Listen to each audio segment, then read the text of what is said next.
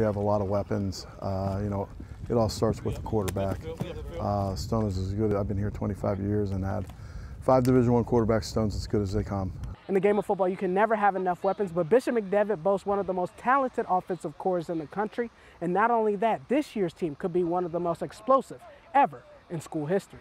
Whether it's through the air or on the ground, having plenty of playmakers is a good problem to have for Bishop McDevitt head coach Jeff Weachter. As one opposing coach said last year, it's like kind of like pick your poison. You know, you want to stop the run or the pass. But I mean, we, we talk to the guys all the time about it. Hey, you know, it doesn't matter stat-wise. It's what you put on film. And, you know, we have a lot of good guys.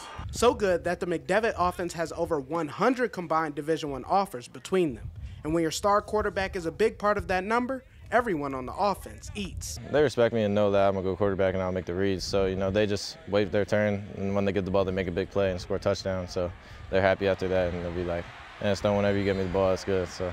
The pieces are certainly there for another trip to the state title, but how good they want to be is all up to them. If we really get focused, then we could be unstoppable on offense. You know, no one in the state's going to be able to stop us.